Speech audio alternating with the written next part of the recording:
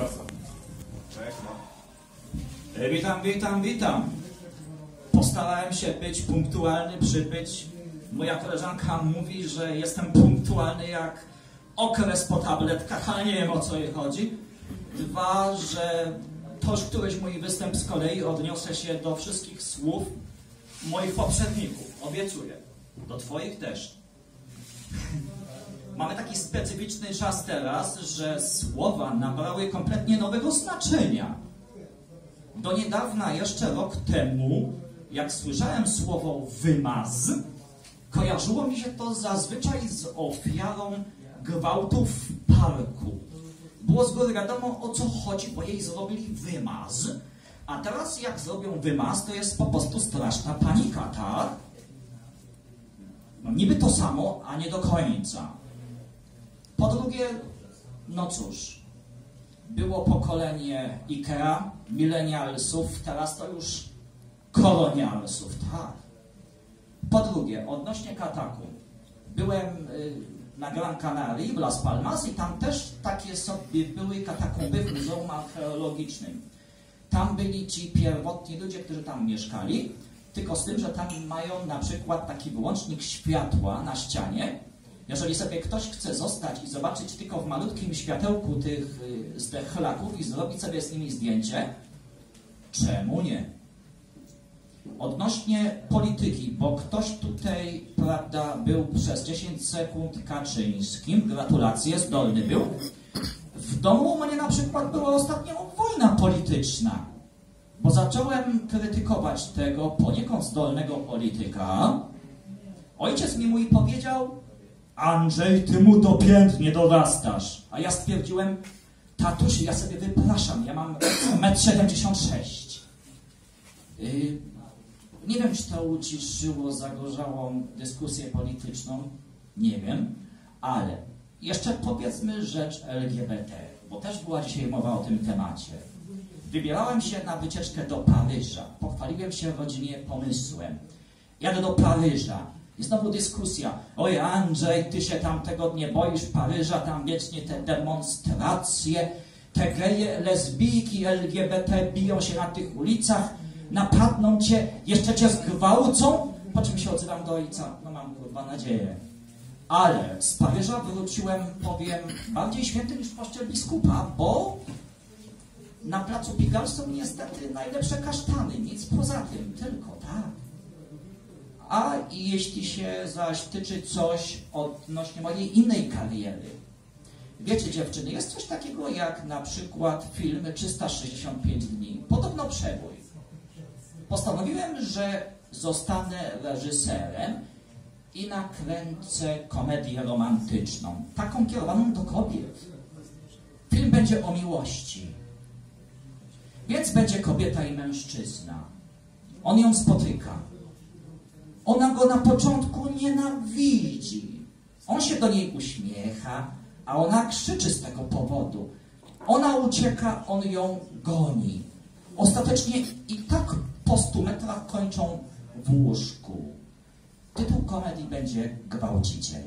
Wiesz, że to jest plagiat? Po drugie, nie zamierzam na tym zarabiać. Okej, dobra. Po drugie, powiem jeszcze, że dziewczyny, jaki się sposób najczęściej przedstawiacie, jak na przykład poznajecie jakiegoś chłopaka? Cześć, jestem Jola, cześć, jestem Magda, tak, na przykład. Kiedyś poznałem dziewczynę, no to się przedstawiłem, tak, ona wyciągła rękę. Cześć, mam na imię Magda, właśnie mi się skończyła owulacja. Cały dzień szukałem w Google, o co jej cholera chodziło. Powiem, że jeszcze głupszą minę miał jej chłopak, który siedział obok. Słowo. Mało tego, żeby było weselej y, uczelnia, bo było na przykład wspomniane o uczelni. Tutaj też był wątek taki y, nawiązany. Powiem, że zgłaszaliśmy kiedyś skargę na nauczycieli. Nie to, że seplenili, że się źle wyrażali, nie. Oni po prostu następili. Tylko, że jeden się z nas nieopatrznie wypuścił do dyrektora, że panie dyrektorze, z nimi się nie da współżyć. otwarł gabinet, a kto wam kazał z nimi współżyć? Ostatnia skarga w historii szkoły, jaka była złożona. Tak. Miałem jeszcze wspomnieć o czymś takim właśnie, jak przyjaciółka, która jest w Anglii.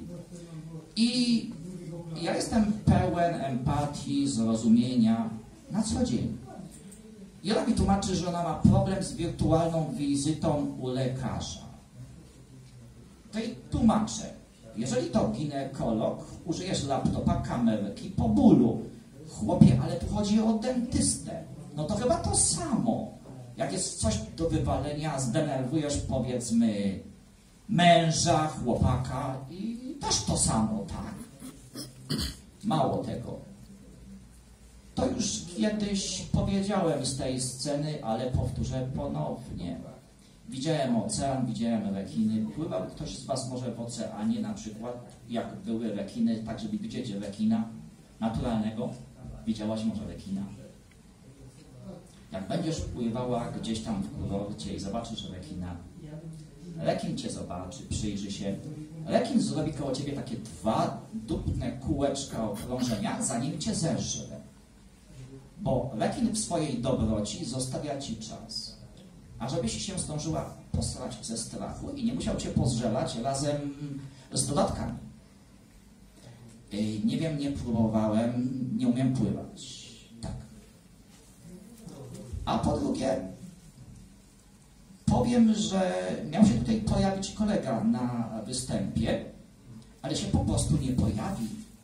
Zgadnijcie czemu? No tłumaczyłem mu, że prezerwatywa nie zapewnia 100% bezpieczeństwa. Trzeba jeszcze dodatkowo uważać. Umówił się z panienką, miał poprawnie założoną gumkę, a rozjechał go autobus, no więc on się nie pojawi, na pewno nie. Dwa, że powiem, że przed każdym przyjazdem coś mnie po prostu zabawnego trafia. Zawsze. I powiem, że rodzina się na przykład zastanawia, czemu ja chodzę na stand-up, czemu na przykład ja chodzę na tę scenę, tak? To ja tłumaczę na przykład mojej rodzicielce, że przecież mogę mieć do teatru słowackiego bilety od tak, na dowolną sztukę, bo mogę. Ale na przykład y, tam ja sobie nie wyobrażam Hamleta w wersji stand-upowej, tak? No co, wychodzi z głębi sceny gościu chudy, wzrok pusty, trzymający czaszkę w pedalskiej do rajtuza. Być albo nie być, o to jest pytanie. A z publiki co? Yo Hamlet? On co? Yo man? Nie, to się nie zdarzy. Nigdy w życiu. Dlatego wolę stand-up na przykład za naturalność, tak? Drugie, jak sobie przypomnę jeszcze wyjazdy na przykład do Paryża. Kiedy się na przykład robi trolling z kogoś, to jest pół biedy, ale jeżeli robią z Was, jest gorzej. Bo francuskiego nie znam, ale tylko tyle co słowo dwa, no więc je ne parle français, croissant pour moi et café blanche. Okej, podała mi paryżanka, notabene czarna, no normalne, a za nią stał Francuz, taki sobie kaszkiet, surducik, Francuz jak z obrazka. I słyszę, jak on też bierze język y, krzy, krzywdzi i robi sobie jaja ze mnie. Y, Pour moi, croissant, y, madame, café blanche. Obydwoje brechtają, po czym dopiero za chwilę ja zajarzyłem, o co chodzi. Cóż, Paryż nie zawsze wita ciekawie, no nie? Dzięki Wam.